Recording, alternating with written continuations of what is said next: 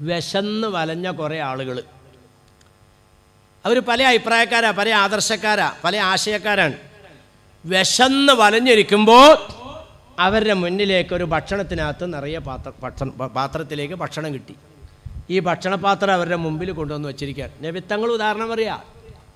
ആ പാത്രത്തിലിരിക്കുന്ന ഭക്ഷണത്തിന്റെ അവസ്ഥയിലേക്ക് ഈ സമുദായം എത്തിച്ചേരുന്ന ഒരു കാലഘട്ടം വരുമെന്ന് നബീന റസൂലുള്ളാഹി. എന്ന് പറഞ്ഞാൽ ചുറ്റുമിരിക്കുന്നവർ പല അഭിപ്രായക്കാരാ. ഒരാൾ പറയും ഒരു മൂന്ന് ഇതിൽ ദൈവം ഉള്ളത് വേറൊരാൾ പറയും മുപ്പത്തി മുക്കോടി ദൈവമുള്ളത് വേറൊരാൾ പറയും അല്ല ആ ദൈവങ്ങളൊന്നുമല്ല ഈ ദൈവ ശരി. ഇങ്ങനെ പല ദൈവങ്ങളെ പറ്റി പറയുന്നവരാ അതിനകത്തുള്ളത്. പരസ്പരം അങ്ങോട്ടും ഇങ്ങോട്ടും ദൈവത്തിന്റെ പേര് തല്ലുപിടിക്കുന്നവരും ഇതിനകത്തുണ്ട്. പക്ഷേ എല്ലാവർക്കും വിശപ്പാണ്. ഈ വിശക്കുന്നവർക്ക് ഈ ദൈവത്തിന്റെ പേരിലുള്ള ആശ അഭിപ്രായ വ്യത്യാസങ്ങളും വിഷയങ്ങളും അല്ല. അപ്പം അജണ്ട. പിന്നെ വിശപ്പിന്റെ പരിഹാരം കാണുക. വിശന്നവരുടെ പരിഹാരം പരിഹാരമാർഗം എന്താ? തിന്നാ കുടിക്കുക അതാണ്. ഇങ്ങനെ ചുറ്റും വിശന്നിരിക്കുന്ന ആളുകൾ ഈ ഭക്ഷണത്തളികയിൽ നിന്ന് ഭക്ഷണം എടുക്കുന്ന അവസ്ഥയിലേക്ക് ആ ഭക്ഷണത്തിന്റെ സ്ഥാനത്തേക്ക് സമുദായം എത്തുന്ന കാലഘട്ടം. എന്ന് പറഞ്ഞാൽ ലോകത്തുള്ള എല്ലാവരും നിങ്ങൾക്കെതിരാകുന്ന ഒരു കാലഘട്ടം വരുമെന്ന് നബീന റസൂലുള്ളാഹി. ഇന്നങ്ങനെയാണോ രണ്ട് രാഷ്ട്ര തലവന്മാർ ഒരുമിച്ച് കൂടിയാൽ അവരാദ്യം വെക്കണ കരാർ എന്താണെന്നറിയോ തീവ്രവാദം അമർച്ച ചെയ്യാൻ ഒരുമിച്ച് പോരാടാം. ഏതായി തീവ്രവാദം? എന്താണ് ഈ തീവ്രവാദം? ഇവിടെ കുരിശുമാല ഇട്ടവൻ ബോംബ് പൊട്ടിച്ചാൽ തീവ്രവാദമാവില്ല ചന്ദനക്കുരി തൊട്ടവൻ ബോംബ് പൊട്ടിച്ചാൽ തീവ്രവാദമാവൂല കുടുമി വെച്ചവൻ ബോംബ് വെട്ടിച്ചാൽ തീവ്രവാദമാവൂല. കൃഫാൻ വെച്ചവൻ ബോംബ് വെട്ടിച്ചാൽ തീവ്രവാദമാകൂല താടിയും നിഷ്കാരത്തയമ്പുമുള്ളവൻ തീവ്രവാദിയാണ്. നമസ്കാരത്തയമ്പും ഫർദായും ഹിജാബുമുള്ളവൾ തീവ്രവാദിനിയാണ്. ഇതല്ലേ ഇന്ന് ലോകത്തിന്റെ ചിത്രം അല്ലേ? അപ്പൊ തീവ്രവാദം അമർച്ച ചെയ്യുക എന്ന് പറഞ്ഞാൽ മുസ്ലിം സമുദായത്തെ ഇല്ലാതാക്കാൻ ഒരുമിച്ച് പോരാടാം. അതാണ് അതിന്റെ നേർക്ക് നേരമായന രണ്ട് രാഷ്ട്രത്തലവന്മാർ ഒരുമിച്ച് കൂടിയാൽ ആദ്യം വെക്കുന്ന കരാർ ഇതാണ്. തീവ്രവാദം അമർച്ച ചെയ്യാൻ ഒരുമിച്ച് പോരാടാം. ഇങ്ങനെ ആഗോളതരത്തിൽ എല്ലാവരും നിങ്ങൾക്ക് എതിരാകുന്ന ഒരു കാലഘട്ടം. എല്ലാവരും ഒരുമിച്ച് ഒരു ഭാഗത്ത് നിങ്ങൾ മാത്രം മറുഭാഗത്ത്. ഇന്ന് അങ്ങനെയുള്ളൊരു അവസ്ഥയല്ലേ? ജൂത നസാറ മജൂസികൾ സിഖുകാർ എന്ന് വേണ്ട ലോകത്തുള്ള മുഴുവൻ മനുഷ്യവിഭാഗങ്ങളും മതവിഭാഗങ്ങളും മുസ്ലിം സമുദായത്തിനെതിരായി. ചിലർ പറയും അത് നിങ്ങളുടെ കയ്യിലിരിപ്പോണ്ടിട്ടാണ്. ഏ കാക്കാമാരെ നിങ്ങളുടെ കയ്യിലിരിപ്പോണ്ടിട്ടല്ലേ? ബാക്കി എല്ലാവരും നിങ്ങൾക്കെതിരായത് അല്ലടോ പിന്നെ ഇവരുടെ കയ്യിലാണ് നീതി. മുസ്ലിമിന്റെ കയ്യിലാണ് സത്യം. മുസ്ലിമിന്റെ ഭാഗത്താണ് ധർമ്മം. മുസ്ലിമിന്റെ ഭാഗത്താണ് യുക്തി. മുസ്ലിമിന്റെ ഭാഗത്താണ് ബുദ്ധി. ഇതെല്ലാം നിൻ മുസ്ലിമിന്റെ ഭാഗത്താകുമ്പോൾ മറുഭാഗത്ത് ഇതിന്റെ എല്ലാം നേരെ എതിരാണ്. നിങ്ങൾക്ക് വിശ്വസിക്കാൻ പറ്റണില്ല അല്ലേ? ഞാൻ ഒന്ന് രണ്ട് ഉദാഹരണങ്ങൾ പറഞ്ഞുതരാം. അപ്പോൾ നിങ്ങൾക്ക് വിശ്വസിക്കാൻ വിശ്വാസമാവും ഇത് ഇന്നുള്ളതല്ലടോ. ഈ മുസ്ലിം സമുദായം ലോകത്ത് ന്യൂനപക്ഷമായി ഒറ്റപ്പെടുക എന്നുള്ളത് ഇന്ന് തുടങ്ങിയതൊന്നുമല്ല. ഇന്ന് അതിന്റെ മൂർധന്യ അവസ്ഥയിലേക്ക് എത്തി നിൽക്കുന്നു എന്ന് മാത്രം. ഇത് മുമ്പേ ഉള്ളതാ. അതാ ഖുർആാനിന്റെ പരാമർശം. ഒതുക്കുറൂ ഇത് എന്തും ഖലീലും മുസ്തദഅഫൂന ഫിൽ അർളി തഖാഫൂന അൻ യതഖത്തഫകും الناس فآواكم وأيدكم بنصره ورزقكم من الطيبات لعلكم تشكرون മനുഷ്യരെ നിങ്ങൾ മനസ്സിലാക്കണം ലോകത്ത് മുസ്ലിം സമുദായം എന്നും ന്യൂനപക്ഷമാണ് സത്യം പറയുന്നവർ ന്യൂനപക്ഷമാ അസത്യം പറയുന്നവർ ഭൂരിപക്ഷമാ നീതി നീതി നടപ്പിലാക്കുന്നവർ ന്യൂനപക്ഷമാ അനീതി നടപ്പിലാക്കുന്നവർ ഭൂരിപക്ഷമാ സമാധാനം ആഗ്രഹിക്കുന്നവർ ന്യൂനപക്ഷമാ സംഘർഷം ആഗ്രഹിക്കുന്നവർ ഭൂരിപക്ഷമാ സ്വർഗത്തിന്റെ അവകാശികൾ ന്യൂനപക്ഷമാ നരകത്തിന്റെ അവകാശികൾ ഭൂരിപക്ഷമാ കുറുകാൻ പറയുന്നത് നിങ്ങളുടെ കയ്യിലിരിപ്പോണ്ടിട്ടല്ല ഇന്ന് ലോകത്ത് മുസ്ലിം സമുദായം സത്യത്തിന്റെ ഭാഗത്ത് നിൽക്കുമ്പോൾ മറുഭാഗം മുഴുവൻ അസത്യത്തിനെ അനുകൂലിക്കുന്നു എന്ന് പറയുമ്പോൾ ഞാൻ ഒരു ഉദാഹരണം ചോദിക്കാൻ. ആകാശത്തിന്റെ താഴെ പലിശ എന്ന് പറയുന്ന സമ്പ്രദായം പലിശ ലോകത്ത് സമാധാനം തരുവോ? പലിശ ലോകത്ത് നിഷിദ്ധമാണെന്ന് പറയുന്ന ഒരേ ഒരു സംസ്കാരം പരിശുദ്ധ ഖുർആൻ മാത്രമേ ഉള്ളൂ.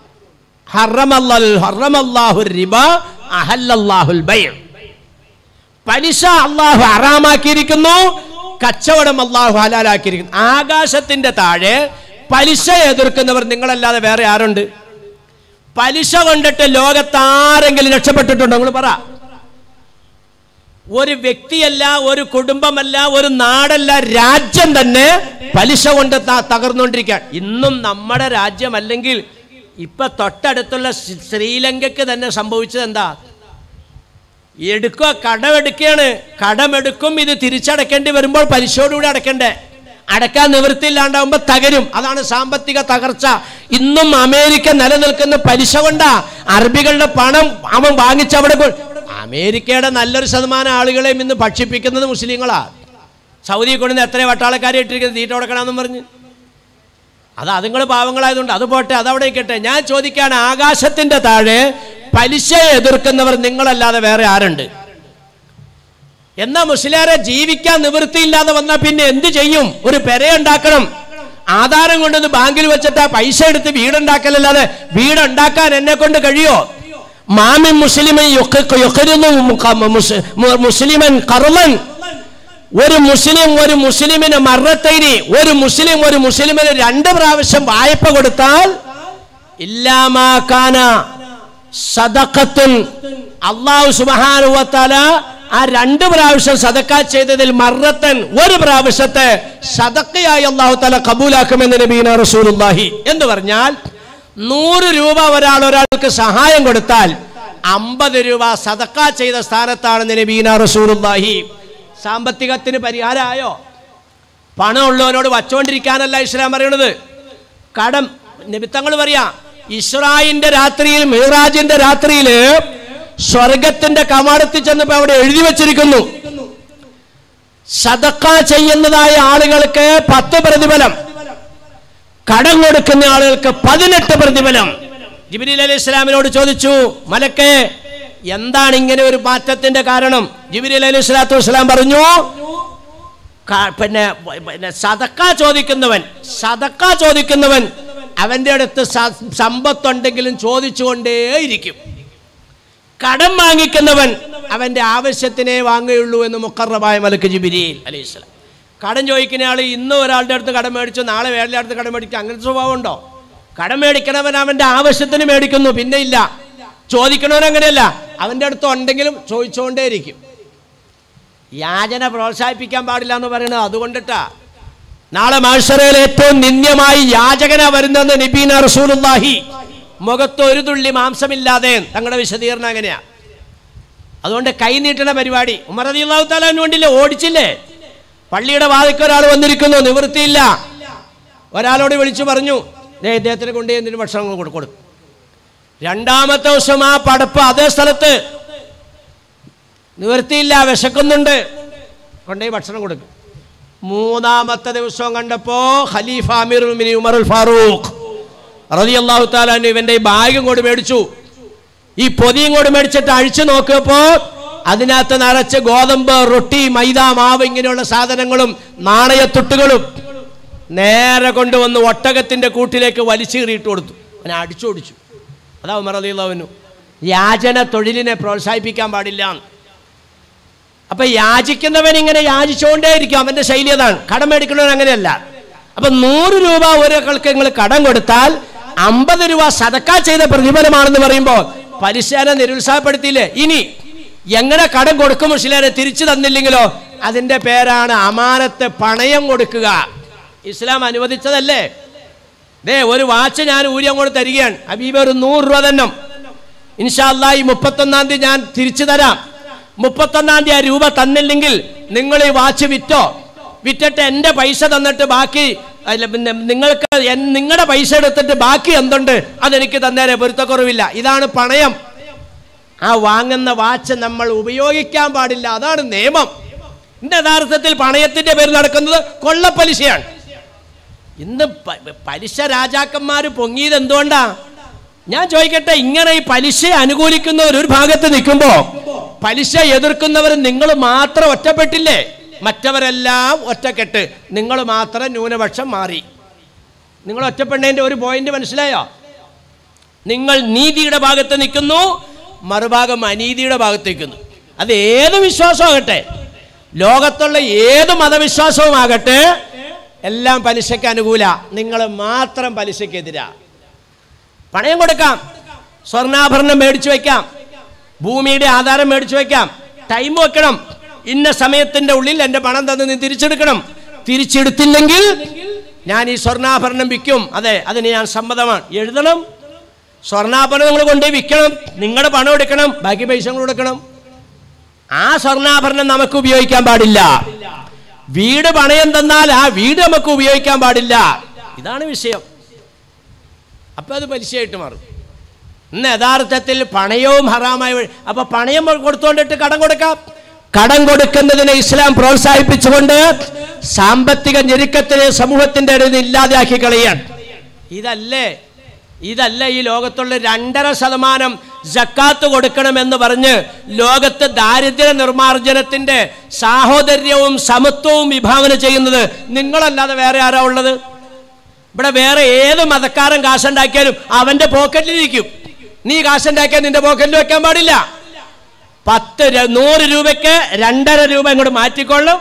ബാക്കി തൊണ്ണൂറ്റേഴര രൂപ എടുക്കാം. ആ രണ്ടര രൂപ സാധുവിന്റെ അവകാശമാണ് അത് ഔദാര്യമായിട്ട് കൊടുക്കണമല്ല അവന്റെ അവകാശമാണ്. ഇങ്ങനെ പറയുന്ന ഒരു മതം എവിടെയുണ്ട്? അപ്പൊ സാമ്പത്തിക വിഷയത്തിൽ നീ ഒറ്റപ്പെട്ടു മറ്റവരെല്ലാം മറുഭാഗത്തായി. നീ ഒറ്റപ്പെട്ടതിന്റെ ഉദാഹരണേ പറയണേ. ആകാശത്തിന്റെ താഴെ ആകാശത്തിന്റെ താഴെ വ്യഭിചാരത്തിനെ എതിർക്കുന്ന ഒരേ ഒരു സംസ്കാരം. നിന്റേതല്ലാതെ വേറെ ലോകത്തൊന്നുമില്ല. വ്യഭിചാരത്തിലേക്ക് അടുക്കല്ലേ? അടുക്കല്ലേ എന്ന് പറഞ്ഞാൽ പ്രത്യേകം പരിശുദ്ധ ഖുർആൻ പറയുന്നു കുല്ലിൽ മൂമിനിന യഗുന്നു മിൻ അബ്സാരിഹിൻ. കുല്ലിൽ മൂമിനാത്തി യഗുന്നു മിൻ അബ്സാരിഹിന്ന. പുരുഷന്മാരെ സ്ത്രീകളെ നിങ്ങൾ പരസ്പരം അന്യവരാണെങ്കിൽ തമ്മിൽ നോക്കാൻ പോലും പാടില്ല.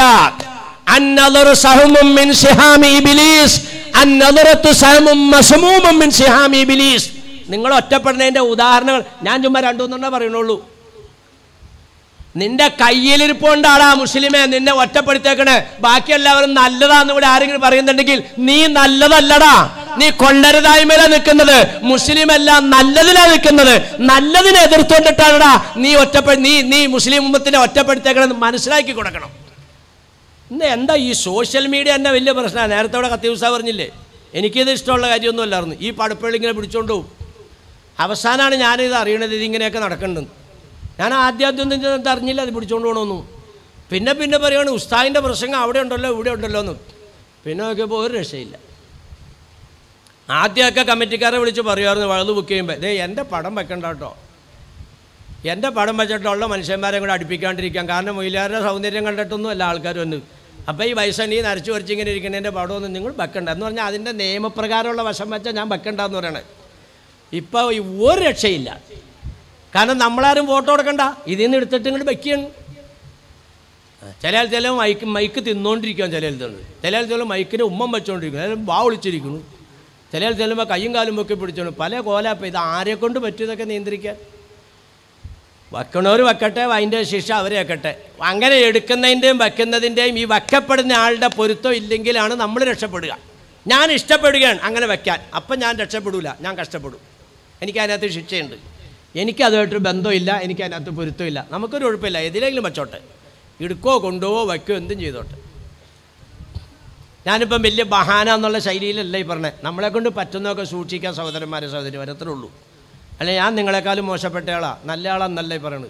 നമ്മളെ കൊണ്ട് പറ്റുന്നോടത്തോളം സൂക്ഷിക്കുക. ഒത്തക്കുള്ള മസ്തത്തെഴുത്തും നിങ്ങളിവിടെ ഒന്ന് ശ്രദ്ധിച്ചേ. ഈ ആകാശത്തിന്റെ താഴെ അന്യ സ്ത്രീ പുരുഷന്മാർ തമ്മിൽ കാണരുത് എന്ന് പറഞ്ഞാൽ കാണൽ കൊണ്ടിട്ടാണ് പ്രശ്നമെന്ന്.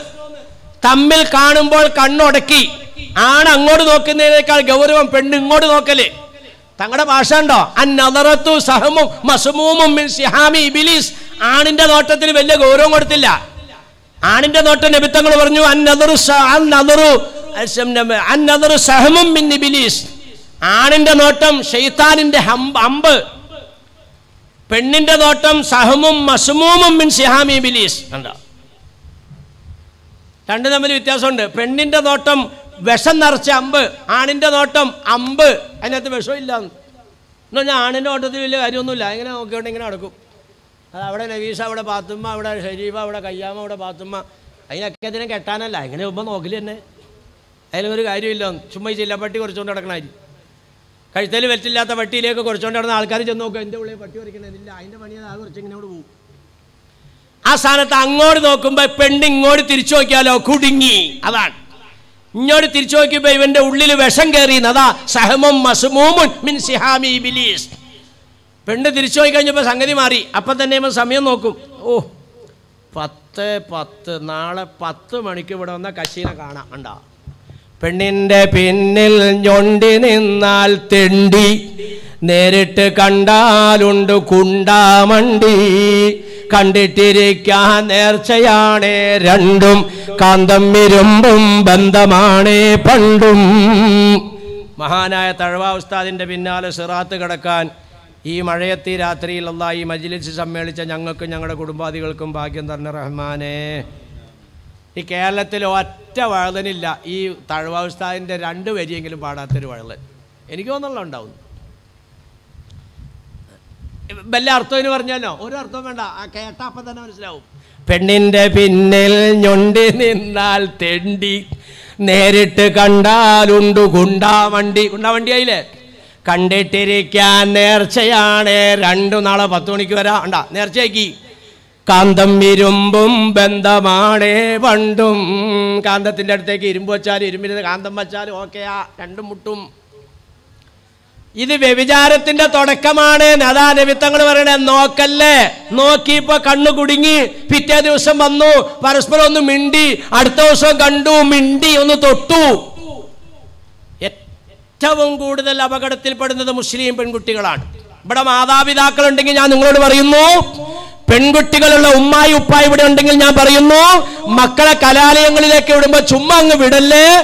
ഇടയ്ക്ക് നിങ്ങൾ ഒരു വേഷം മാറിയിട്ട് അല്ലെങ്കിൽ വല്ല കോട്ടൊക്കെ ഇട്ട് മോൾ ബസ് കാത്തു നിൽക്കുന്ന ആ സ്റ്റോപ്പിൽ കൂടെ ചുമ്മാ ഒന്ന് പോണം. ഏത് കലാലയത്തിന്റെയും ഫ്രണ്ടിൽ ചെന്ന് നോക്കിക്കോ തട്ടനിട്ട പെൺകുട്ടിയുടെ അടുത്ത് ആൺകുട്ടി ഉണ്ടാവും. ഒരു ഹിന്ദു കുട്ടിയെ നോക്കിക്കോ ക്രിസ്ത്യാനി കുട്ടിയെ നോക്കിക്കോ അവൾ സ്വതന്ത്രമായിട്ട് എവിടെയെങ്കിലും മാന്യമായി നിൽക്കുന്നുണ്ടാവും. ഏറ്റവും കൂടുതൽ ഈ സമുദായത്തിലെ പെൺകുട്ടികൾ ഇന്ന് അപകടത്തിൽപ്പെട്ടുകൊണ്ടിരിക്കുകയാണ്. അപ്പോൾ ഞാൻ പറഞ്ഞു വന്ന എന്താ? ഈ ലോകത്തിങ്ങനെ പരസ്പരം കാണല്ലേ എന്ന് അനുശാസിക്കുന്ന നിഷ്കർഷിക്കുന്ന ഒരു മതം വേറെ ഉണ്ടെങ്കിൽ പറ. അപ്പം നിങ്ങളൊരു ഭാഗത്തായോ? അതുകൊണ്ടാണ് പെൺകുട്ടികളെ നിങ്ങളുടെ സുരക്ഷിതത്വത്തിന് വേണ്ടി കുറുവാൻ പറയാണ് يا أيها النبي قل لأزواجك وبناتك ونساء المؤمنين يدنين عليهن من جلابيبهن ذلك أدنى يعرفن ولا يؤذين നബിയെ തങ്ങളുടെ ഭാര്യമാരോട് പെൺമക്കളോട് മുസ്ലിം വനിതകളോട് അവരുടെ ജിൽബാബ് അത് മാറിലേക്ക് ഇറക്കിയിടാൻ പറ അതവർ പതിവ്രതകളാണെന്ന് തിരിച്ചറിയാനും അവരെ ഉപദ്രവിക്കപ്പെടാതിരിക്കാനും വേണ്ടിയാണ് ഖുർആൻ ഇതിന്റെ പേരാണ് ഈ ഹിജാബ് ഇപ്പൊ പ്രശ്നം ഉണ്ടായില്ലേ ഹിജാബ് ഇടുമ്പോ ഈ മുഖത്തേക്ക് ഇങ്ങനെ ഇറക്കിയിടുന്ന തുണി കഷ്ണത്തിനാണ് ഇത് പറയാം. ഇത്. ഇത് ഇത്രയും പോരാന്ന്. പിന്നെ ഖുർആൻ പറയുന്നു അതിങ്ങനെ താഴത്തേക്ക് ഇറക്കിയിടണം. നമ്മുടെ ഈ രാജ്യത്തൊക്കെ ഒരു പത്ത് മുപ്പത്തഞ്ച് കൊല്ലം മുമ്പ് ഇവിടെ ഇരിക്കുന്ന നരച്ചവരോട് ഞാൻ ചോദിക്കാം ഒരു പത്ത് മുപ്പത്തഞ്ച് കൊല്ലം മുമ്പ് ഒരു ഹിന്ദു സ്ത്രീ പുറത്തേക്ക് ഇറങ്ങുവാൻ നിങ്ങൾ കണ്ടിട്ടുണ്ടോ? ഒരു രണ്ടാം മുണ്ടുണ്ടാവും. ആ മുണ്ട് ദേ ഇങ്ങനെ അങ്ങ് ഇടും അവൾ. ദേ ഇങ്ങനെ. ദേ ഇങ്ങനെ ഇട്ടിട്ട് ഇങ്ങനെ അങ്ങോട്ട് കുത്തും. കണ്ടിട്ടുണ്ടത് ഇതാണ് ഈ ഹിജാബ് എന്ന് പറയണേ. എന്ന് പറഞ്ഞാൽ ഇവിടെ മറക്കപ്പെടേണ്ട ഒരു ഭാഗമാണ്. പുരുഷൻ ആകർഷകത്വം തോന്നാൽ സാധ്യതയുള്ള സ്ഥലമാണത്. അത് അന്യ പുരുഷന് ദർശനം കിട്ടാതെ മറക്കണേ അതാണ് ഹിജാബ്. ഇന്നിപ്പോ അതല്ല ഏറ്റവും വലിയ പ്രശ്നം? ആറ് കൊല്ലം ഇരുന്ന് പഠിച്ച കുട്ടി പരീക്ഷ എഴുതാൻ പരീക്ഷ ഹാളിലേക്ക് ചെന്നപ്പോൾ ഹിജാബ് മാറ്റണം മാറ്റണമെന്നൊറ്റ ഡിമാൻഡ് മാത്രം. പരീക്ഷാ ഹാളിലേക്ക് സൂപ്പർവൈസറോട്ട് തന്ന മുസ്ലിം വനിതയാകുന്ന ടീച്ചറോട് സൂപ്പർവൈസറോട് ഹിജാബ് മാറ്റിയാൽ മാത്രമേ പരീക്ഷ നടത്താൻ അനുവദിക്കൂ എന്നുള്ള നിയമം. അവർ പറ്റില്ല എന്ന് പറഞ്ഞു. ആ കുട്ടിയും പറഞ്ഞു പറ്റില്ല എന്ന് അവളെ പരീക്ഷ എഴുതിച്ചില്ല. സൂപ്പർവൈസറെ ജോലിയിൽ നിന്ന് പിരിച്ചും വിട്ടു. ഇതൊക്കെ ഉണ്ടായതാ ഇന്ത്യ രാജ്യത്ത്. എന്തേ എന്തേ ബഹുമാനികളെ ഈ ഹിജാബിനോട് എന്താ ഇത്ര വൈരാഗ്യം വന്നേ?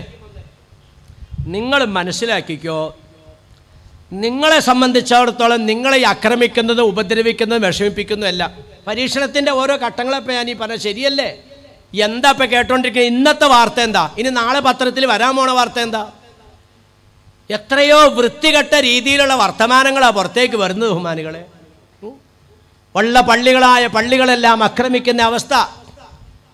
കുത്തുബ മിനാറിനെ വേറെ പേരാക്കാൻ പോവുകയാണ്. താജ്മഹലിന് വേറെ പേരാക്കാൻ പോവുകയാണ്. ചെങ്കോട്ടയ്ക്ക് വേറെ പേരാക്കാൻ പോവുകയാണ്. അക്ബർ റോഡിന് വേറെ വേറെ പേരാക്കാൻ പോവുകയാണ്. ദേ ഇപ്പൊ ഇതാ ഇത് ഇപ്പൊ- ഇപ്പൊ ഇന്നലെ മുതൽ ഇതാ മറ്റൊരു പിന്നെ പിന്നെ കാശിയിലെ ഒരു പള്ളിക്ക് വേറെ പേരാക്കാൻ പോവുകയാണ്. ബാബരി മസീദിന്റെ പേര് വേറെ.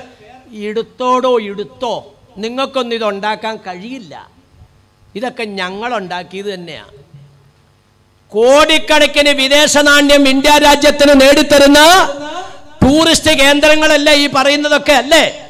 ഇതെല്ലാം മുസ്ലിം സമുദായത്തിന്റെ സംഭാവനകളല്ലാതെ പിന്നെ എന്താ?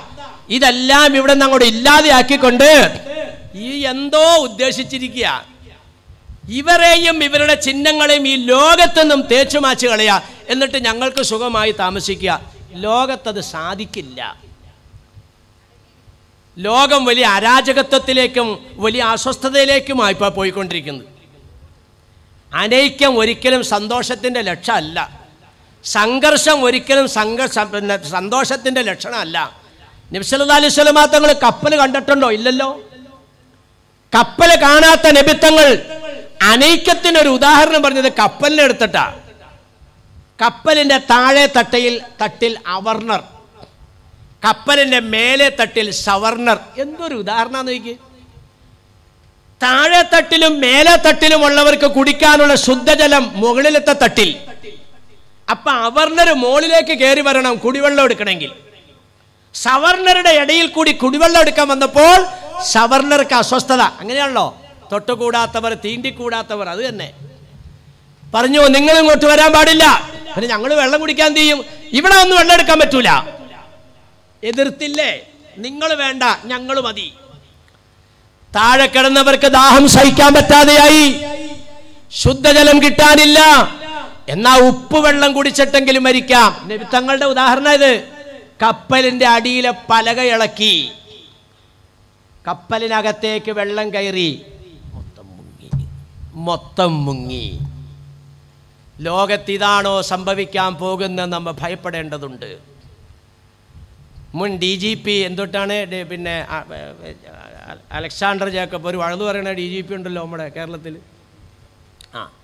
അദ്ദേഹം വളർന്നു പറഞ്ഞ കൂട്ടത്തിൽ ഞാൻ കേട്ടതാ. എത്ര ശാന്തനായ പൂച്ചയാണെങ്കിലും മുറിക്കകത്ത് കയറ്റി വാതിലിട്ടിട്ട് അതിനെ അടിച്ചാൽ പൂച്ച തിരിച്ചു കടിക്കും. യഥാർത്ഥത്തിൽ സംഭവിച്ചുകൊണ്ടിരിക്കുന്നത് അതാണ്. രാജ്യത്തിന്റെ ഭരണകൂടത്തിന്റെ അധികാരം തകർക്കാനോ സർക്കാരിനെ അട്ടിമറിക്കാനോ ടാക്സ് കൊടുക്കാതിരിക്കാനോ രാജ്യത്തിനെ ഒറ്റുകൊടുക്കാനോ തീവ്രവാദികളാകാനോ ഒരു നിലയ്ക്കും ആരെയും ഉപദ്രവിക്കാതെ തികച്ചും ശാന്തമായി സമാധാനമായി ഖുർആൻ അനുസരിച്ച് ഹദീസ് അനുസരിച്ച് ശാന്തതയോടെ ജീവിതം മുന്നോട്ട് കൊണ്ടുപോകുന്ന മുസ്ലിം ഉമ്മത്തിനെ ആക്രമിച്ച് ഇല്ലാതെയാക്കാന്നുള്ള നയത്തിലേക്ക് പോകുന്നതെങ്കിൽ കപ്പൽ മുങ്ങുന്നതിനാണ് നമ്മൾ ഭയപ്പെടേണ്ടത്. എന്ന് പറഞ്ഞാൽ ഈ രാജ്യം തന്നെ നശിക്കുന്ന അവസ്ഥയിലേക്ക് പോവുകയാണ്. അള്ളാഹു ഇവർക്കൊക്കെ നല്ല ബുദ്ധി കൊടുത്ത് അനുഗ്രഹിക്കുമാറാകട്ടെ. ഞാൻ പറഞ്ഞു തന്നെ എന്താണെന്നറിയോ ഈ ഹിജാബിനെ എതിർക്കാനും നിങ്ങളെ എതിർക്കാനും ഒക്കെ കാരണം എന്താണെന്നറിയോ? ഹിജാബ് എന്ന് പറയുന്നത് മറയ്ക്കുന്ന സാധന ശരീരത്ത് മറയ്ക്കുക. ഒരു മറയ്ക്കുന്ന സംവിധാനം ഇവിടെ നിലനിൽക്കുമ്പോൾ മറയ്ക്കാത്ത സംവിധാനത്തിന് നിലനിൽപ്പില്ല. ശ്രദ്ധിക്കണം എല്ലാവരും ഇത്. ഏക ഇലാഹിലെ വിശ്വാസം ഇവിടെ നിലനിൽക്കുമ്പോൾ ബഹുദൈവ ആരാധനയ്ക്ക് ഇവിടെ നിലനിൽപ്പില്ല. എല്ലാ രംഗത്തും ഇങ്ങനെ. ഇതാ ഖുർആൻ പറഞ്ഞത് വദ്ദ കസീറും മിൻ അഹ്ലിൽ കിതാബി ലൗ മിൻ ബഅദി കുഫാരൻ ഹസദ. നിങ്ങളോടൊരു വൈരാഗ്യം അവർക്കില്ല. നിങ്ങളുടെ വിശ്വാസവും സംസ്കാരവും ആദർശവും ആശയവും ഇവിടെ നിലനിന്നാൽ ഞങ്ങളുടെ ഈ യുക്തിരഹിതമാകുന്ന ബുദ്ധിശൂന്യമാകുന്ന ഈ വികൃതമാകുന്ന വിശ്വാസങ്ങൾക്കും സംസ്കാരങ്ങൾക്കും നിലനിൽപ്പില്ല. അതുകൊണ്ട് നിങ്ങളെ ഇല്ലാതാക്കുക ഇതാണ് ഖുർആൻ പറഞ്ഞ പറഞ്ഞത്. ഖുർആൻ പറഞ്ഞത് ഇതാണ് ഇന്ന് വിഷയമുള്ളൂ. നിങ്ങളുടെ ഈ വിശ്വാസം ഇവിടെ നിലനിൽക്കുമ്പോൾ എന്ന് പറഞ്ഞാൽ കണ്ണിങ്ങനെ മുറുക്കി അടച്ചിരിക്കുകയാണ് നട്ടപ്പകൽ. എന്നിട്ട് ഇവർ വിളിച്ചു പറയുന്നു ഇപ്പോൾ നട്ടപ്പാതിരിയാണ് നട്ടപ്പാതിരിയാണ് നട്ടപ്പാതിരിയാണ്. ചിലരതിന്റെ ഇടയിൽ കണ്ണൂർ നോക്കുമ്പോൾ ആ നട്ടപ്പകൽ. അപ്പൊ ഇവർ വിളിച്ചു പറയും നിങ്ങൾ പറയുന്നത് ശരിയല്ല. ഇപ്പോൾ നട്ടപ്പകലാണ്. അങ്ങനെ കണ്ണു തുറന്നതാണ് ഈ അടുത്ത ദിവസം മക്കയിൽ ചെന്ന് ലായിലാഹ ഇല്ലല്ല എന്ന് പറഞ്ഞ ശബരി എന്ന് പറയുന്ന ഫാത്തിമ ശബരി. അതിനു മുമ്പുണ്ടായില്ലേ ഒരു വാ പിന്നെ പിന്നെ പിന്നെ പിന്നെ ഹാദിയ. അതിന് മുമ്പുണ്ടായില്ലേ കമലാശ്വരി എന്തോരം ഇവിടെ ഉണ്ടായി? കമലാശ്വരിയ ഇവരൊക്കെ കണ്ണൂർ നോക്കി. എടാ ഈ മുസ്ലിങ്ങളെയും ഈ സംസ്കാരത്തിനെയും എന്താണ് ഇവരിങ്ങനെ എതിർക്കുന്നത്? എന്നാ ഞങ്ങൾ ഇതൊന്ന് തുറന്നു നോക്കട്ടെ. തുറന്നു നോക്കിയപ്പോൾ അവർ വെളിച്ചം കണ്ടു. ഈ വെളിച്ചം കാണൽ കൂടി വരും. ഒലവ് കരിഹൽ മുഷിരിക്കൂൻ ഒന്നര മാസം മുമ്പ് ഡൽഹിയിൽ ഒരു സമ്മേളനം ഉണ്ടായി. പത്രത്തിൽ വാർത്ത വന്നു. എന്റെ അടുത്ത് പത്രം ഇരിപ്പുണ്ട് മാധ്യമം പത്രത്തിലാണ് ഞാൻ വായിച്ചത്. ഞാൻ ഡൽഹിയിൽ പോയില്ല. ആ സമ്മേളനം ഈ രാജ്യത്തിനെ തകർക്കാൻ മാത്രം അജണ്ടയായി വരുന്ന എന്ന് പറഞ്ഞാൽ മുസ്ലിം സമുദായത്തെ വംശനാശം നടത്താൻ വേണ്ടി മാത്രം മുന്നോട്ട് വരുന്ന ഒരു ഒരു ഒരു വിഭാഗത്തിന്റെ സമ്മേളനമായിരുന്നു. ആ സമ്മേളനത്തിലെ മുഖ്യ അതിഥിയായ മനുഷ്യൻ ഒരു പ്രസംഗം നടത്തി. ശ്രദ്ധിക്കണം എല്ലാവരും. എന്താണെന്നറിയോ? രണ്ടായിരത്തി ഇരുപത്തി ഒൻപതിന്റെയും രണ്ടായിരത്തി മുപ്പത്തി മുപ്പത്തൊമ്പതിന്റെയും ഇടയിൽ ഇന്ത്യ രാജ്യം ഒരു മുസ്ലിം പ്രധാനമന്ത്രി ഭരിക്കും.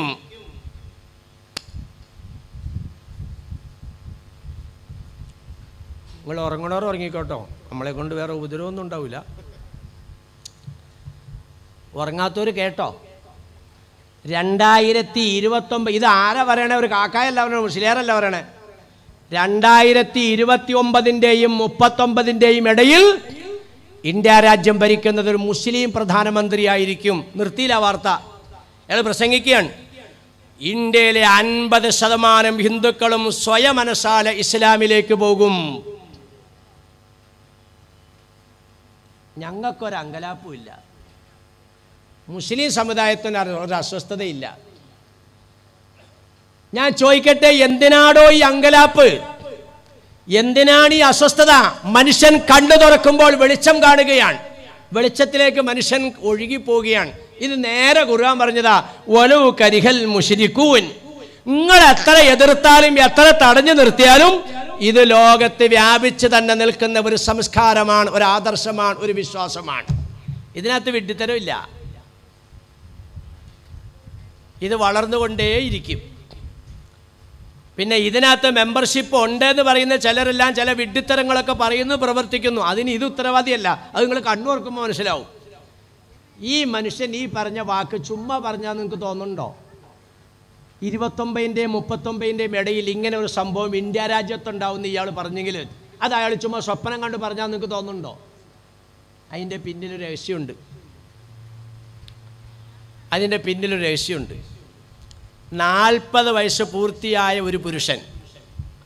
വാപ്പാടെ പേര് അബ്ദുള്ള ഉമ്മാന്റെ പേര് ആമിന. പരിശുദ്ധമായ ഹജ്ജ് കർമ്മത്തിന് ആ മനുഷ്യൻ വരുമ്പോൾ ധാരാളം മുസ്ലിങ്ങൾ ആ മനുഷ്യനെ ബയ്യത്ത് ചെയ്യുന്നു. പരിപാവനമാവുന്ന കഴബാലയത്തിന്റെ മുന്നിൽ നിന്ന് നെഞ്ചിൽ കൈവച്ചുകൊണ്ട് ആ മനുഷ്യൻ ഒരു പ്രഖ്യാപനം നടത്തും. അന മഹദിയുൻ. ഞാൻ ഇമാം മഹദിയാണ്. ആ സാ നീതി പറയുന്നവരെ എതിർക്കുക. എന്നിട്ട് വസ്ത്രം ധരിക്കാത്തതിനെ ഇവിടെ ഇന്നിപ്പോൾ അതല്ലേ നടന്നുകൊണ്ടിരിക്കുന്നത് മഹാനായ നൂസ്താദിനെ നിങ്ങൾ കേട്ടിട്ടുണ്ടാവും. ആലുവ യൂസി കോളേജിന്റെ താഴ്ഭാഗത്ത് താമസിക്കുന്ന നൂഹ് മൗലിവി. മൗത്തായി പി അള്ളാഹു അദ്ദേഹത്തിന്റെ കബറിടം വെളിച്ചമാക്കി കൊടുത്ത് അനുഗ്രഹിക്കുമാറാകട്ടെ. ആ മനുഷ്യനൊരിക്കൽ ഗൾഫിൽ ചെന്നിട്ട് ഒരു പ്രസംഗം നടത്തി. എത്ര എത്ര ബുദ്ധിശൂന്യമാകുന്ന വിശ്വാസങ്ങളാ ബഹുമാനികളെ ലോകത്ത്. നമ്മൾ ആക്ഷേപിക്കാൻ പറയല്ല നമ്മൾ കാര്യങ്ങൾ മനസ്സിലാക്കാൻ വേണ്ടി. നമുക്കങ്ങനെ പറയാനും പാടില്ലല്ലോ. ഒരു ഒരു ഒരു ഒരു ഇതര മത സംസ്കാരത്തിന്റെ ആദർശങ്ങളെയും അല്ലെങ്കിൽ അവരുടെ വിശ്വാസങ്ങളെയും നമ്മൾ ആക്ഷേപിക്കാൻ നിൽക്കണ്ട. ആക്ഷേപിക്കണമില്ല. പക്ഷേ ഇവിടെ കാര്യങ്ങൾ നമ്മൾ മനസ്സിലാക്കേണ്ടതുണ്ട്. ന്യൂസ്താദ് എന്നിട്ടൊരു പ്രസംഗം നടത്തി അറബികളോട്. അയ്യുഹന്നാസ്. അറബി പത്രത്തിൽ മാസികയിലുണ്ടായി ആ പ്രസംഗം. ഏ മനുഷ്യരെ ഹൽ താരിഫൂന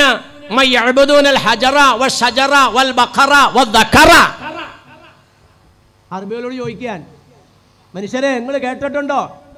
മരത്തിനെ ആരാധിക്കുന്ന വിശ്വാസികളെ പറ്റി നിങ്ങൾ കേട്ടിട്ടുണ്ടോ? അറബികൾക്കറിയില്ല മരം വെട്ടി കത്തിക്കലല്ലാണ്ട് അവർ ആരാധിക്കാറില്ല. നമ്മുടെയൊക്കെ എത്രയോ എൻ എച്ചുകളുടെ സെന്ററുകളിലാണ് മരം നിൽക്കുന്ന ബഹുമാനികളെ.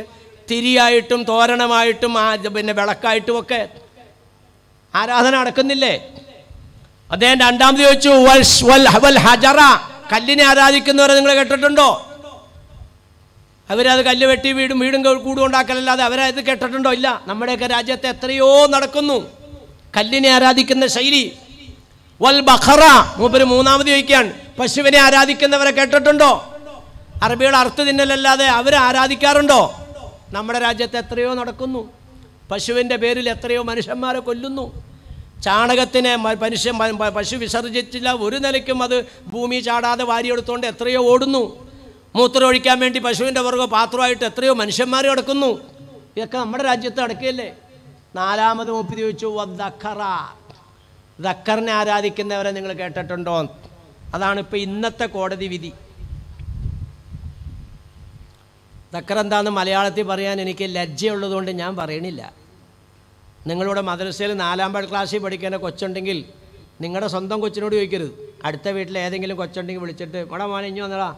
ഈ ദക്കർ എന്ന് പറഞ്ഞാൽ കിട്ടാ അപ്പം അത് കാക്കാതെ ഇന്ന സാധനമെന്ന് പറയും. ഇതാ ഇപ്പോൾ കോടതി കോടതി ഓർഡർ ഇട്ടിരിക്കുക ദക്കറിന് പരിപൂർണമാകുന്ന സംരക്ഷണം കൊടുക്കണം. എത്രയോ അടി നീളമുള്ള ദക്കറാണ് പള്ളിയുടെ ഹൗദിന്റെ അടിയിൽ നിന്ന് കണ്ടെടുത്തിരിക്കുന്നത്.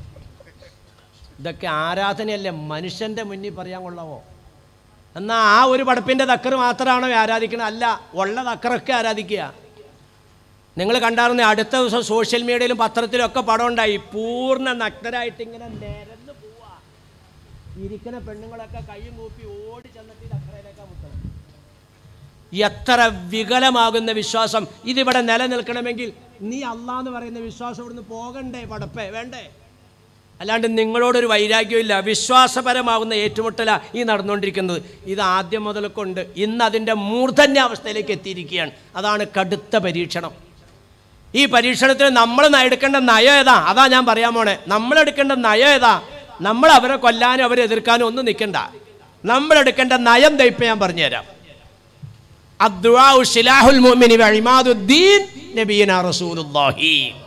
അതാണ് നമ്മുടെ നയം. ഇപ്പോൾ ശ്രദ്ധിച്ച അപ്പം നിങ്ങൾ ഒറ്റപ്പെടാനുള്ള കാരണം ഞാൻ ഒന്ന് രണ്ടെണ്ണം പറഞ്ഞു. ഒന്ന് പലിശയെ നിങ്ങൾ മാത്രം ലോകത്ത് എതിർക്കുന്നു. രണ്ട് വ്യഭിചാരത്തിന് നിങ്ങൾ മാത്രം ലോകത്ത് എതിർക്കുന്നു. വ്യഭിചാരം വരാതിരിക്കാനാണ് ഹിജാബ്. അതിനെ എതിർ- എതിർക്കുന്നവരുടെ ഇരുപത്തൊന്ന് വയസ്സ് വിവാഹപ്രായം എത്തിച്ചു. എന്തേ എന്തിയാ കാരണം എന്താ? പത്തൊമ്പത് വയസ്സായ ഒരാണും പെണ്ണും ഒരു ലോഡ്ജിൽ വന്ന് വ്യഭിചരിക്കുകയാണ്. പോലീസിന് ന്യൂസ് കിട്ടി അവർ പോയി പരിശോധിച്ചു പുറത്തിറക്കി. നിന്റെ വീട് എവിടെയാ? എന്റെ വീട് അവിടെ. നിന്റെ വീട് എവിടെയാ? അവിടെ. നിങ്ങൾ എന്തിനാണ് രണ്ടാളും ഈ റൂമിൽ വന്നത്? ഞങ്ങൾ സ്വയം സ്വയം പരസ്പരം സമ്മതിച്ച് തൃപ്തിപ്പെട്ട് ഇവിടെ വന്നതാണ്. പോലീസ് ചോരു പോലെ അങ്ങ് പോകും. ആ സ്ഥാനത്ത് ഇരുപത്തൊന്ന് വയസ്സെത്തുന്നതിന് മുമ്പ് ഇവിടെ ഇരിക്കുന്ന ഒരു കാക്ക മോളെ നിക്കാഹ് ചെയ്താൽ കാക്ക ജയിലിൽ പോകും. വ്യഭിചാരത്തിനെ പ്രോത്സാഹിപ്പിച്ചോ? ഇന്ന് വ്യഭിചാരശാലകൾക്ക് ലൈസൻസ് കൊടുക്കുന്ന അവസ്ഥയിലെത്തിയില്ലേ? പണ്ടൊക്കെ ബോംബെയിൽ നിന്ന് വേശ്യകൾ കൈകാട്ടി വിളിക്കുന്ന അവസ്ഥയെത്തിയെങ്കിൽ ഇന്ന് നമ്മുടെ കേരളത്തിലെ പ്രധാനപ്പെട്ട പട്ടണങ്ങളിൽ വരെ നേരം സന്ധ്യയായാൽ കൈകാട്ടി വിളിക്കുകയല്ലേ? എൻ എച്ചിന്റെ നടുക്കുള്ള മീഡിയയിൽ കയറുന്നുകൊണ്ട് വേശ്യകൾ കൈകാട്ടി വിളിക്കുകയല്ലേ? ഫുഷുഫുസിന വ്യഭിചാരം വ്യാപകമായി ലോകത്തിനെ എതിർക്കുന്ന ഏക പ്രസ്ഥാനം നിങ്ങൾ മാത്രം. ബാക്കി എല്ലാം മറുഭാഗത്ത്. നിങ്ങൾ ഒറ്റപ്പെട്ട. ലോകത്ത് ലഹരിയെ എതിർക്കുന്ന ഏത് ഏക മതം പരിശുദ്ധ ഖുർആൻ? അഷ്റഫുൽ ഖൽക്ക് നബീന റസൂ ഇന്നമൽ ഖംറു വൽ മൈസറു എന്ന് പറഞ്ഞിട്ട് ഖുർആൻ. അഷ്റഫുൽ ഖൽക്ക് നബീന റസൂലുള്ളാഹി തങ്ങൾ പറഞ്ഞു കുല്ലു മുസ്കിരിൻ ഖംറും വ കുല്ലു ഖംദിൻ ഹറാം. ലഹരി ഉണ്ടാക്കുന്ന എല്ലാ സാധനങ്ങളും നിഷിദ്ധമാണ്. എല്ലാ തെറ്റുകളിലേക്കും നിങ്ങൾ എത്തിക്കുന്നത് ലഹരിയാണ് കേട്ടോ അടുക്കല്ലേ? ലഹരി രാജാക്കന്മാരും മന്ത്രി പിന്നെ മദ്യ ലോകത്ത് വാഴുമ്പോൾ കോടാന കോടാന കോടിയുടെ ബിസിനസ് ലോകത്ത് മദ്യത്തിന്റെ പേരിൽ നടക്കുമ്പോൾ ലോകത്ത് മുസ്ലിം സമുദായം മാത്രം ലഹരി എതിർക്കുന്നു എതിർക്കുകയും മറുഭാഗത്തുള്ള സർവരും മദ്യത്തിനെയും മയക്കുമരുന്നിനെയും അനുകൂലിക്കുകയും ചെയ്യുന്നു. ഇല്ലേ? നിങ്ങൾ ഒറ്റപ്പെട്ട? നിങ്ങളെ ഒറ്റപ്പെടാനുള്ള കാരണങ്ങളാണ് ഞാൻ ചോദിക്കുന്നത്. അല്ലാണ്ട് ഇവിടെയുള്ള ചില വിവരദോഷികൾ പറയുന്ന പോലെ മുസ്ലിം സമുദായത്തിന്റെ കയ്യിലിരിപ്പുകൊണ്ടാണ് നിങ്ങൾ ഒറ്റപ്പെട്ടത് അങ്ങനെയല്ല. നമ്മുടെ ഈ നല്ല സംസ്കാരത്തിന് ലോകത്ത് മൊത്തം എതിർക്കപ്പെടുകയാണ്. ബഹുമാനികളെ ആഹൃസമാന്റെ അടയാളമായിട്ട് നബി സല്ലല്ലാഹു അലൈഹി തങ്ങൾ പറഞ്ഞു ഇതത്വഹിതൽ പൊതുമുതൽ ദൂർത്തടിക്കുന്ന കാലഘട്ടം വരും നിങ്ങൾ അതിനെ കർശനമായി കൈകാര്യം ചെയ്യണം. തൊപ്പി തുന്നി ഉപജീവനം നടത്തിയ ഔറംഗസീബാണ് ദേ ഇപ്പം ഇന്നത്തെ പത്രത്തിനകത്ത് ഇന്നത്തെ കോടതി വീതിയിൽ വന്നിരിക്കുന്ന വിഷയം. ഔറംഗസീബാണ് അവിടെ ക്ഷേത്രം തകർത്തിട്ട് പള്ളി ഉണ്ടാക്കിയത്. ആ മനുഷ്യൻ ജീവിച്ചത് എങ്ങനെയാ? തൊപ്പി തുന്നി കിട്ടുന്ന വേതനം കൊണ്ടിട്ട് ആ മനുഷ്യൻ ഉമർ ഫാറൂഖ് റളിയല്ലാഹുവിന്റെ കയ്യിൽ ഒരു ദിവസം ഒരു പൊതി. പ്രിയപ്പെട്ട സഹദർബണി സയ്യദത്തിന് അബി ഫാത്തിമ അൻഹ. ഇതെന്താണിത്? കുറെ നാണയത്തുട്ടുകളാണ്. എന്തിനാണ്? അങ്ങയുടെ കുപ്പായത്തിൽ എത്ര ദ്വാരങ്ങളാ നോക്കി എത്ര തുന്നലുകളാ നോക്കിക്കേ? ഒരു പുതിയ കുപ്പായം വാങ്ങിക്കാനുള്ള പണമാണ്. ഇത് എവിടെ നിന്ന് കിട്ടി? അങ്ങക്ക് കിട്ടുന്ന വേതനത്തിൽ നിന്നും ഓരോ നാണയം ഞാൻ എടുത്തു മാറ്റി വെച്ചു. അങ്ങനെ സമ്പാദിച്ചതാണ് ഈ പണം. ഉടനെ സെക്രട്ടറിക്ക് ഓർഡർ കൊടുത്തു. എനിക്ക് ഡെയിലി തരുന്ന വേതനത്തിൽ ഒരു റിയാൽ വെട്ടിക്കുറയ്ക്കണം ബാക്കി തന്നാ മതി. കാരണം എന്താ? എന്റെ ഉപജീവനത്തിന് ഒരു റിയാൽ അധികപ്പറ്റാണ്. ഈ നിലയ്ക്ക് ബൈത്തുൽമാരിനെ സൂക്ഷിച്ച ഭരണാധികാരി ചുമ്മാതെയല്ല മഹാത്മാഗാന്ധി പറഞ്ഞത്. ഇന്ത്യ രാജ്യത്തിന് ഒരു സന്തോഷകരമാകുന്ന ജീവിതം ഇന്ത്യ രാജ്യത്തെ ജനങ്ങൾക്ക് ഒരു സുസ്ഥിരമാകുന്ന ജീവിതം ഉണ്ടാകണമെങ്കിൽ ഞാൻ ആഗ്രഹിക്കുന്നത് ഖലീഫ ഉമറിന്റെ റലിയല്ലാഹുനു ഭരണം വരണമെന്നാണ്. എന്തി അങ്ങനെ മഹാത്മാഗാന്ധി പറയാൻ കാരണം? ഉമർ അലി പറ്റി മഹാത്മാഗാന്ധിജി പഠിച്ചു. ഇന്നുള്ളവന്മാർ പഠിക്കാൻ തയ്യാറല്ല എന്ന് മാത്രമല്ല ഉമർ അലി അള്ളാഹുവിന്റെ പേര് കാണുമ്പോൾ വെട്ടി കാട്ടിക്കളയാണ് ഇല്ലടോ നിങ്ങളുടെ ഭാഗത്തുനിന്ന് ഒരു ഭരണാധികാരി എങ്ങനെ എടുത്തു തരാനില്ല ലോകത്തില്ല കഴിയില്ല. ഈ നിലയ്ക്ക് പൊതു പൊതൽ സൂക്ഷിക്കണമെന്ന് പറയുമ്പോൾ സാദൽ കബീലത്തും ആഹിർ ഭരണത്തിൽ വരുന്നവർ കുറ്റവാളികളായിരിക്കുമെന്ന് നബീന റസൂലുള്ളാഹി തങ്ങൾ പഠിപ്പിച്ചെങ്കിൽ ഭരണത്തിനോട് ഒട്ടി നിൽക്കുന്നവരാ ബാക്കിയുള്ളത്. ലക്ഷക്കണക്കിന് രൂപ പാസാക്കിയിട്ട് ഒരു ചെറിയ തോടുണ്ടാക്കുന്നത് ഒരു പഞ്ചായത്ത് റോഡിന്റെ സൈഡിൽ തോടുണ്ടാക്കുന്നത് ലക്ഷക്കണക്കിന് രൂപ. അവിടെ ഒരു പതിനായിരത്തിന്റെ മുടക്കേ വരുള്ളൂ. ബാക്കി പണം അങ്ങോട്ട് പോയി. ഇതിന്റെ പേരാണ് പൊതുമുതൽ ദൂർത്തടിക്കുക ഇതിനെ ആകാശത്തിന്റെ താഴെ എതിർക്കുന്ന ഒരേ ഒരു പ്രസ്ഥാനം ഇസ്ലാം മാത്രം. ബാക്കിയുള്ളവർ മത്ത ഒരു ഭാഗത്തായോ? നിങ്ങൾ പറ. ഇങ്ങനെ ഞാൻ എണ്ണി എത്ര വേണമെങ്കിലും പറയാം. ഇങ്ങനെ സത്യത്തിന്റെ ഭാഗത്ത് ഇസ്ലാം മുസ്ലിം നിൽക്കുമ്പോൾ അസത്യത്തിന്റെ ഭാഗത്ത് മറുഭാഗം നിൽക്കുമ്പോൾ മറുഭാഗം ഒറ്റപ്പെടുന്നു മുസ്ലിങ്ങൾ അല്ല മറുഭാഗം ഒരുമിക്കുന്നു മുസ്ലിങ്ങൾ ഒറ്റപ്പെടുന്നു. ഇതാണ് യൂഷിക്വൻ തദ അലേക്കും മുലുമമു കമാ തദലഖിലത്തു നിങ്ങളെ ഇനി മൊത്തം ഇവിടുന്ന് ഇല്ലാണ്ടാക്കിയെങ്കിലേ ഞങ്ങൾക്ക് രക്ഷയുള്ളൂ. അത് തന്നെ. നിങ്ങളിവിടെ നിന്നാൽ ഈ പറഞ്ഞ ഒരു പദ്ധതി ഓടൂല. അതുകൊണ്ട് നിങ്ങളെ നശിപ്പിക്കുക. ഈ ഒരു നിലവാരത്തിലേക്ക് സമുദായം എത്തിച്ചേരുമ്പോൾ നിങ്ങൾക്കുള്ള പരിഹാരമാർഗം എന്താ? അതീസ് ഞാൻ ബാക്കി ഓതണില്ല. പരിഹാരമാർഗം എന്താണെന്നറിയോ? ഞാനിപ്പോൾ ഇത്രയൊക്കെ പറഞ്ഞു. എല്ലാ ഭാഗത്തുനിന്നും ഭീഷണിയാണ് സ്വസ്ഥതയില്ല. എല്ലാ ഭാഗത്തും അസ്വസ്ഥതയാണ് സമാധാനമായി കടന്നിറങ്ങാൻ കഴിയുന്നില്ല. പുറത്തേക്ക് പോയാൽ തിരിച്ചു വരുമെന്ന് പ്രതീക്ഷയില്ല. എല്ലാ ഭാഗത്തും അക്രമങ്ങൾ അഴിഞ്ഞാടുകയാണ്. അഭയാർത്ഥി ക്യാമ്പിൽ കയറിയാണ് ജൂതപ്പട്ടാളം മുസ്ലിം പെൺകുട്ടികളെ വെടിവെച്ചു കൊല്ലുന്നത്. ചെറുപ്പക്കാരെ വെടിവെച്ചു കൊല്ലുന്നത്. പള്ളിക്കകത്ത് നിഷ്കരിക്കാൻ കയറിയ ചെറുപ്പക്കാരിയാണ് ജൂതപ്പെട്ടാളും കൈകാര്യം ചെയ്യുന്നത്. എല്ലാ ഭാഗത്തും ഇതുപോലെ ദുരിതങ്ങളും വേദനകളും അനുഭവിക്കുമ്പോൾ ഭരണരംഗത്ത് നിങ്ങൾക്ക് സമാധാനം കിട്ടാൻ കോടതിയിൽ നിന്ന് നിങ്ങൾക്ക് ശാന്തി കിട്ടാൻ അധികാരികളുടെ ഭാഗത്ത് നിങ്ങൾക്ക് സ്വസ്ഥത കിട്ടാൻ നിങ്ങൾ ആയുധമെടുക്കുന്ന നബീന റസൂലുള്ളാഹി. ഏതാണടോ ആയുധം? തെറ്റിദ്ധരിക്കണ്ട. നീ എടുക്കേണ്ട ആയുധം പ്രാർത്ഥനയാണ് ദുആയാണെന്ന് നബീന റസൂലുള്ളാഹി.